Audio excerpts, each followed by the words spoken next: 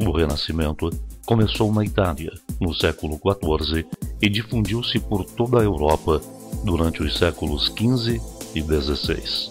Foi um movimento que buscou rever as concepções de mundo que vigoravam até aquele momento. Nessa época, o continente europeu estava passando por grandes transformações sociais, culturais, religiosas, científicas, econômicas e políticas. O termo Renascimento foi criado no século XVI para caracterizar uma época de renovação em relação à Idade Média. Foi durante o Renascimento que o ser humano passou a ser considerado o centro do universo. Na teoria heliocêntrica, o Sol passou a ser considerado o centro do sistema solar. Agora, eu quero convidar você para fazer uma viagem através do tempo na história do Renascimento.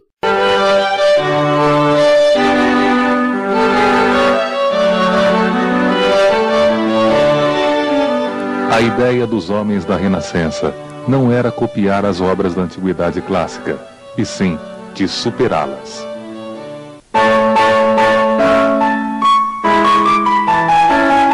No século XVI, pela primeira vez foi utilizado o termo renascença para designar o momento de renascimento da cultura greco-latina em que passava a Europa, uma vez que a Idade Média era vista como a Idade das Trevas, um passado obscuro e bárbaro. Porém, sabemos que a Baixa Idade Média já tinha apresentado grandes transformações onde o próprio humanismo estaria calcado.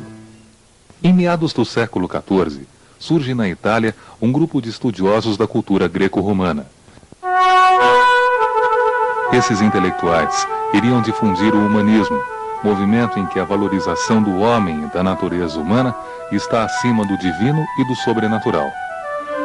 O Renascimento pode ser visto como a expressão do movimento humanista nas artes, letras, filosofia e ciência, caracterizando-se pelo experimentalismo e pelo racionalismo. A contemplação do belo, do harmonioso e do delicado fazia com que o humanismo propusesse que o corpo humano, imagem de Deus, fosse seu canal para exprimir os sentimentos e as paixões humanas. E através da arte, Deus se exprimia, tornando os homens seus próprios mensageiros. Notamos assim que não houve um total desligamento da religião, mas sim uma modificação na forma de vê-la. Os mecenas, que eram ricos comerciantes, reis europeus e até mesmo alguns papas, iriam financiar e proteger intelectuais e artistas humanistas. O movimento humanista surgiu na Itália em virtude do país já ter uma tradição clássica e da influência recebida dos bizantinos que fugiam de Constantinopla tomada pelos turcos.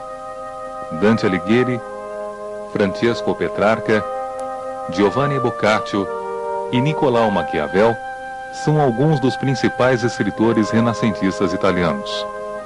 Além disso, teríamos William Shakespeare, na Inglaterra, Erasmo de Roterdã, um holandês que satirizou principalmente a igreja em suas obras, Miguel de Cervantes, na Espanha, e Luís de Camões, em Portugal.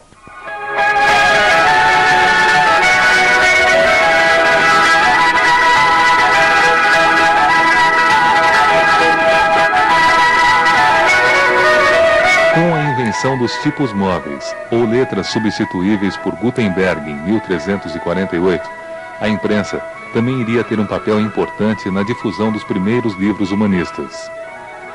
Mas seria nas artes plásticas que os renascentistas iriam manifestar-se com maior força.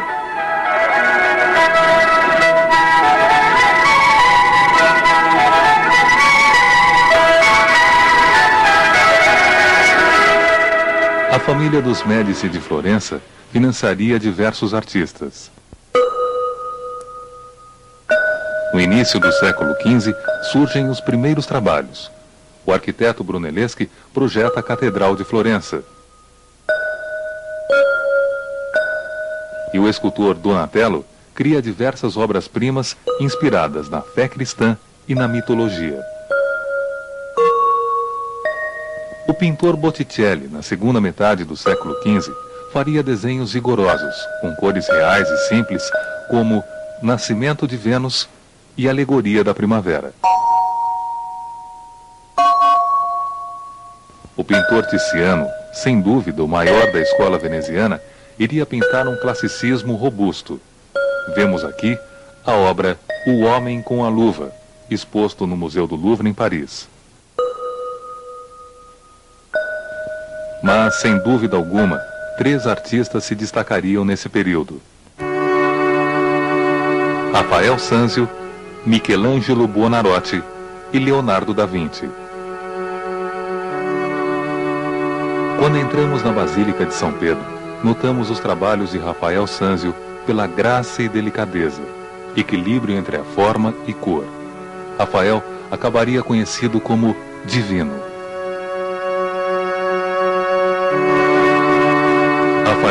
Também iria projetar a cúpula da Basílica junto com outro gênio renascentista, Michelangelo, que além de arquiteto, destacou-se como pintor, escultor e poeta. Os afrescos da Capela Sistina mostram seu domínio na pintura, mas são as esculturas as obras mais admiradas. A Pietà, Davi e Moisés, entre outras. No século XVI, toda a Europa seria atingida pela Renascença italiana. Rubens Peter Bruegel e Rembrandt nos Países Baixos, El Greco na Espanha, Albert Dürer e Hans Holbein na Alemanha são alguns dos expoentes surgidos pelo continente. E o italiano Leonardo da Vinci, que além de pintor, revelou-se como escultor, músico, arquiteto, inventor, anatomista e matemático. Dotado tanto para as investigações científicas quanto para as artes, Da Vinci deixou numerosas anotações nessas áreas, sempre concentrado na observação dos fenômenos naturais. Sua arte deixou-nos obras como Mona Lisa, a Gioconda e A Última Ceia.